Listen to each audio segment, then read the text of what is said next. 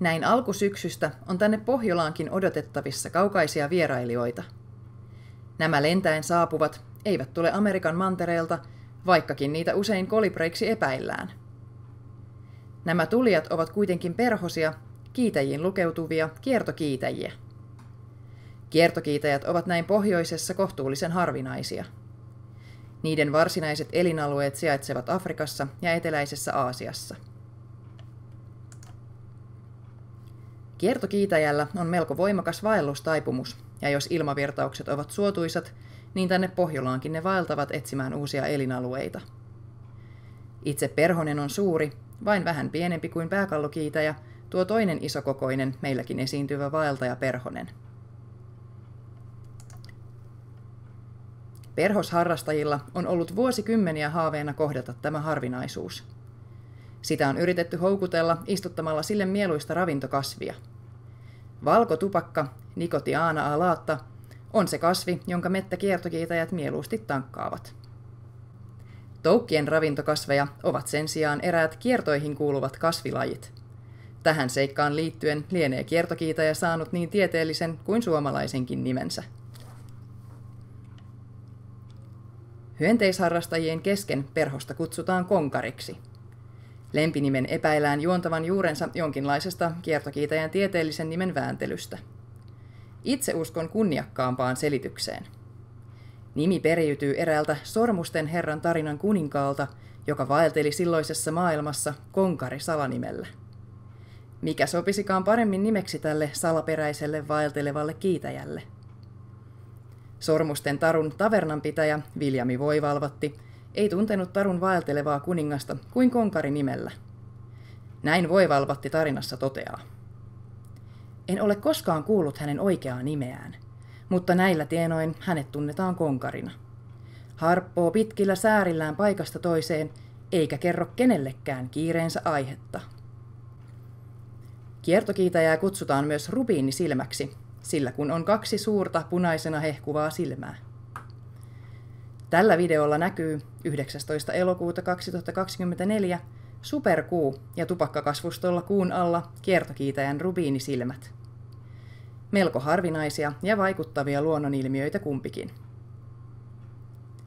Videon tupakkakasvustolla seurasimme näitä perhosia alkuyöstä kuukauden ajan, superkuun ja seuraavan täysikuun välisen ajan. Kiitäjät saapuivat tupakkakasvustolle illan hämärtyessä ja ruokailivat runsaan tunnin ajan. Mahdollista keskiyön tai aamuyön lentoa emme seuranneet.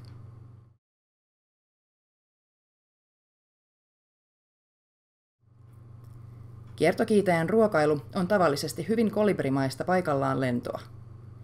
Lennossa se sitten työntää pitkän imukärsensä syvälle kukkaseen päästäkseen imemään mettä.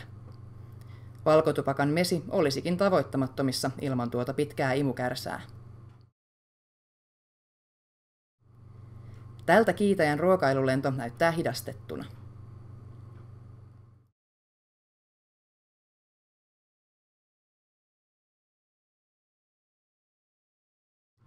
Kiertokiitäjä liikkuu rivakasti, mutta joskus täytyy hieman himmata. Tämä kiitäjä käyttää imukärsänsä tukenaan huilatessaan.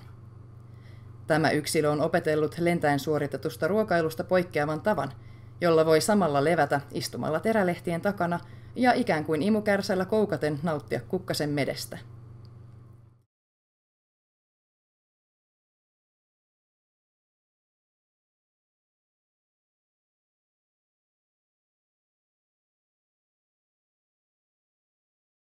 Joskus ruokailujen välissä huilaaminen ei mene aivan nappiin ja perhonen lankeaa aivan maanpinnalle asti. Tällä kohtaa voi nähdä tuon imukärsän lepotilassa rullalle kiertyneenä.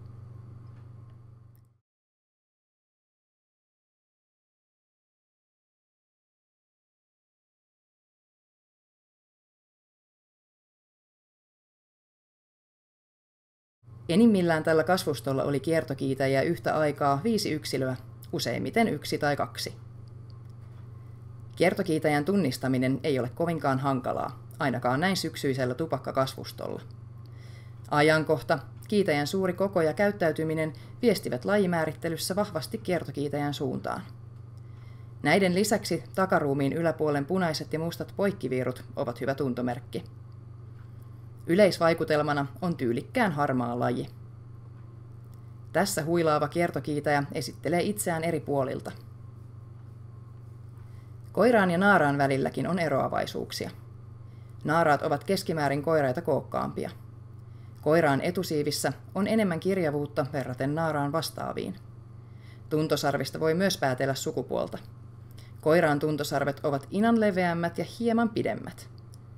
Tämä kukalla lepäävä on tuntosarviensa perusteella todennäköinen koiras.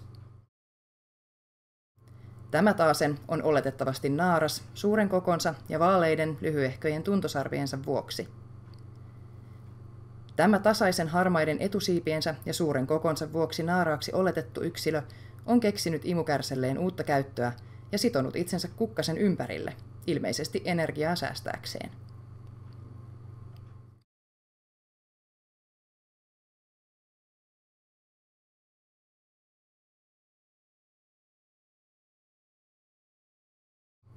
Koko verrokkina videon valkotupakan kukinnot ovat hieman hankalia ja videon kuut eivät kovin hyvin vertailussa anna oikeaa kuvaa kiitäjän koosta.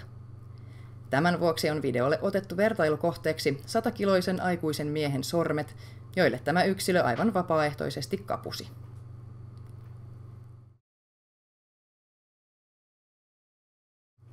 Kiertokiitäjät, jotka jo keväällä ovat saapuneet Suomeen, voivat täällä tuottaa yhden sukupolven, joten osa näistäkin videolla esiintyvistä kiitäjistä saattaa olla Suomessa syntynyttä joukkoa. Vaikka kiertokiitäjä on aikuisena hyvinkin voimakas ja kestävä ja erilaisia säitä sietävä laji, niin viimeistään loppusyksystä olosuhteet vievät voiton niistäkin.